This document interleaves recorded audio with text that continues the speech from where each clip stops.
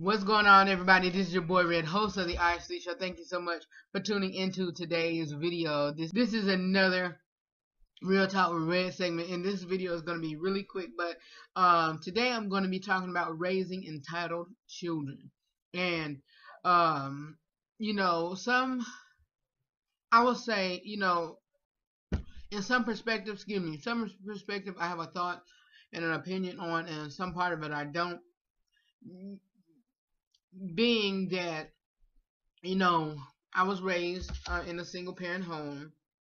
Uh, my father passed away unexpectedly, and um, you know, raising with my mom, she always when she when she worked and was in the you know worked for uh, it was four of us in the home. She worked, but she also you know told us how to work and told us that you know we can only get what we work for and we didn't have the and you we didn't have the mentality or the thought to where you know oh my parents is is you know do this and so I'm not gonna do it um I'm only here to be taken care of no we weren't like that we were raised to you know to to in order to want something, you got to work for it. And my mother, she was very hard on us. Very hard, very hard, very hard, very hard. Of course, yes, when we were younger, we thought we were strict. But nowadays, you know, I see like, look, and I was still talking to my uh, supervisor uh, this today, is that, you know, some stuff that, you know, some stuff takes a while to get, you know, and you know, you know, you, you might saw me then, but look at me now. You might saw me then, but look at me now. But I'm not going to go into that. But what I will say this is that the way I am now is how I was raised. And getting back to my topic, um, some children are, are you know, just like you know, I think it was like a year ago, somewhere around this time, because I was looking on my, um, I think it's called Timehop uh, app, and you know, a year ago, sometime last week, I was at um, the Hallmark store, and the girl was like, "I'm coming to. I'm coming to get one of those paper things uh, for the job." And the lady was like, "What? You mean an application?" She said, "Yeah, one of those things." And I'm like, "Huh?" And of course, she looked at no older than 18, so she was probably around 16, between 16 to 18. She was old enough to work. And what I'm getting to is you know nowadays is it it it all comes out of being you know how we are raised and the responsibility that comes with you know being raised and how um how we're going to be when we get older.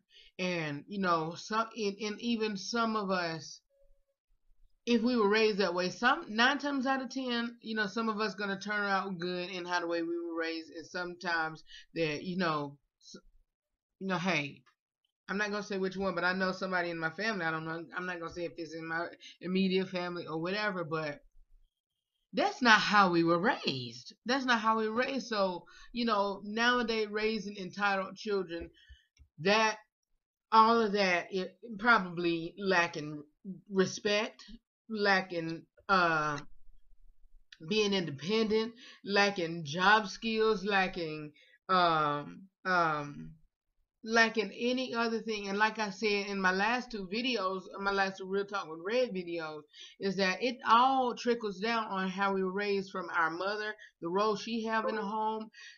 That was facebook. The role the uh the father have in the home it all trickles down to the kids. Then the kids it trickles down to their friends and then all of that is just you know your friend your children might be the one that can help you know, that can be part of peer pressure and might, you know, get get stuff through other children. So, you know, like I said, I'm I'm I'm all over the place with this topic, but getting back to raising entitled children, some of us, you know, um you know, raising entitled children, and I think they, and I hope I'm, I'm giving y'all the right description of what I think of entitled children, raising entitled children. all of that, some of them is is mainly the main thing that I see when raising entitled children. What's lacking is respect and uh, independence. Man, I mean, because I know one, I know this one little girl told this one man, and and and the little girl no more than about seven. The man closed the door, and the little girl was like, I'm not even gonna go there. I'm not even gonna go there because people who watching my video probably know the situation. But to make it to um to give a summary of that, it was just what she said and who she said it to, and that goes back to how she was raised in her home because I know good and well, you know, her lineage was not like that. It's not like the how the way they was talk, uh, how the way she was talking. But you know, it just all gets back into how you were raised. Know that I love you for real, and I am sorry that I'm all over the place, but I hope y'all got some bits and pieces, some good points uh, in this video. Know that I love you for real, and I'll see you next time here on the RH3 Show. I need to finish my lunch, which was my dinner yesterday, some salmon cake. I'll talk to y'all later. Peace.